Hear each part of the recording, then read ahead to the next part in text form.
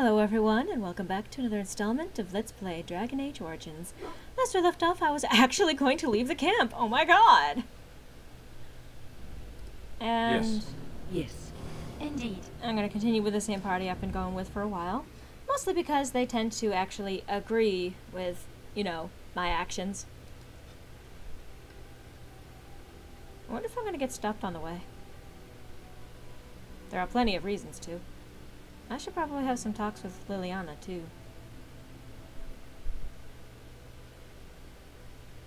Because not everything. Yeah.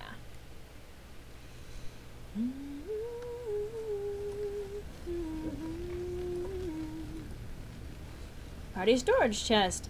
Yay! It's time to put some stuff away that we're not going to be carrying. I should sell those. I should sell those and the arrows.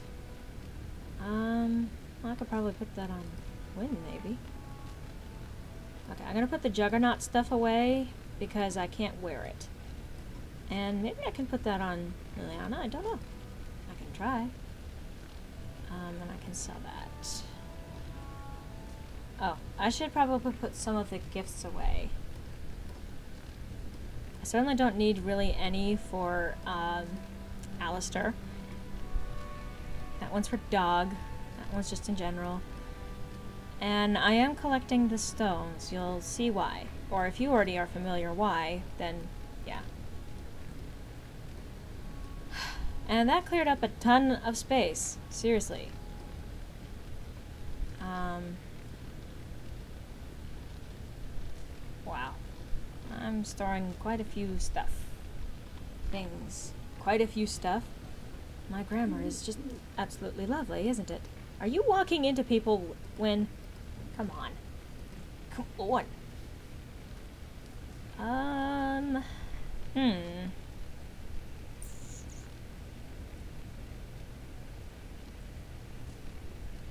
Yeah, let's put the oak branch on her. Doesn't look nearly as cool, but whatever. Right. And just in case, I'll put this stuff in here. And the Beastman's dagger. Because I feel like it. Shut up. And Levi! What can I do for you, Warden? Sir, I love how he never comments on the fact that you are apparently wearing um, his great grandmother's um, armor. It's just like, eh, it doesn't really matter.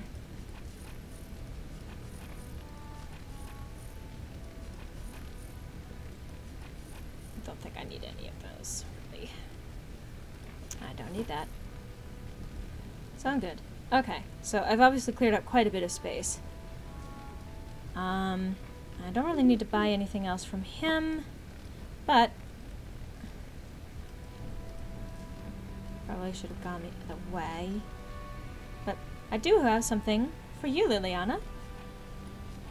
Mm, flowers? Oh, thank you. They're very pretty. These are your mother's flowers, aren't they? These were her favorite. I haven't seen these in such a long time. They smell just like Mother used to. Thank you. Thank you so much for remembering. Plus 15, and now she's got major cunning. What is her approval right now? Aha, 77. I should probably talk to her. I could just imagine a whole bunch of you out there going, No! Keep going! Something I can help with? I'd like to talk to you about something. Yes? What's on your mind? Do you miss anything about Orlais? I miss Val Royeaux. Unlike other cities where the people are the lifeblood and the character, Val Royeaux was her own person, and her people little more than decorations. There was always music in Val Royeaux, streaming from the many windows, quiet refrains and triumphant choruses. And always, floating above that all, the chant, coming from the Grand Cathedral. It was magnificent. It sounds wonderful. Oh, it would take me a day or two to talk about the many splendors of Orlais, her golden fields, her lush meadows. Of course, there are good things and bad things about Orlais, like anywhere else. Sometimes I miss it dearly, and sometimes I'm glad I'm rid of it. And you will laugh at this, but I miss the fine things I had in Orlais. And this is again a hint as to kinds of gifts to give her. What sorts of things? Dresses, fine dresses and furs, and shoes, of course. One can't mingle with nobility with bad shoes, you see. Orlais is very fashionable, almost ridiculously so. The shoes! Living with those ridiculous trends was worth it for the shoes. Hmm. Oh, I love shoes. And uh, by the way, if you're a male warden, you still get this response. So it's kind of awkward. I love shoes. When I left Orlais, the fashion was shoes with delicate tapered heels and embellishments in the front. A ribbon, perhaps, or embroidery. In soft colors, of course. It was spring. Oh, that sounds so lovely. I had my eye on a pair my shoemaker was working on. It was covered in pale blue silk with amber beads on the toe. The shoes made in Orlais were exquisite. Not at all like these clunky fur-lined leather boots you have in Ferelden. Ugh, just look at them. Mm, at least they keep the cold out. They're sturdy shoes, but sometimes a girl just wants to have pretty feet. Oh, I could talk about shoes all day, but we have things to do, don't we? Mm-hmm.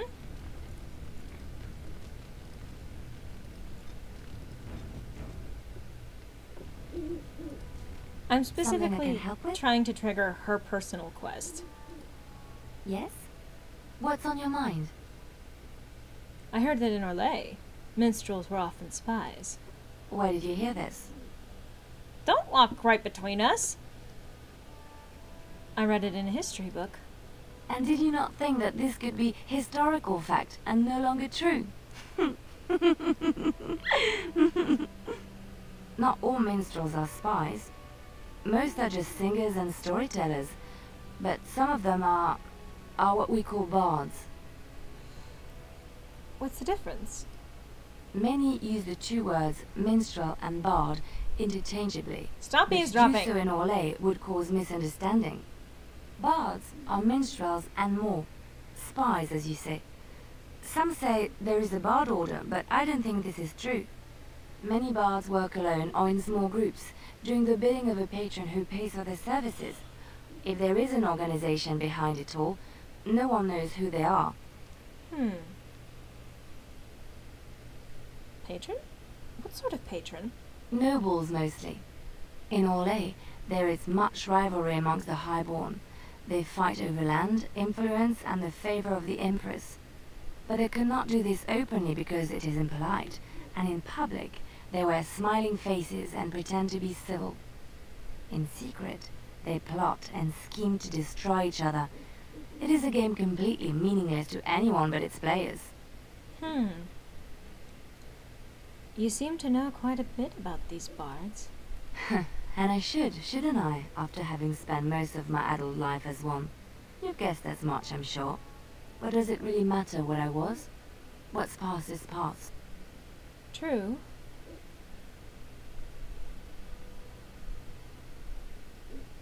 But why were you living cloistered? Uh, why were you. That sentence is wrong. But why were you living as a cloistered sister in rural Ferelden? I found myself in Ferelden and sheltered from bad weather in the Chantry. And when the storm passed, I just did not want to leave. I like to see the Maker brought me here. She approves plus two. Huh. Well, I'm not entirely sure about the honesty behind her response there, but I'm just about out of time for this installment of Let's Play Dragon Age Origins, so I hope to see you next time where I continue talking with people. No, hopefully I keep moving.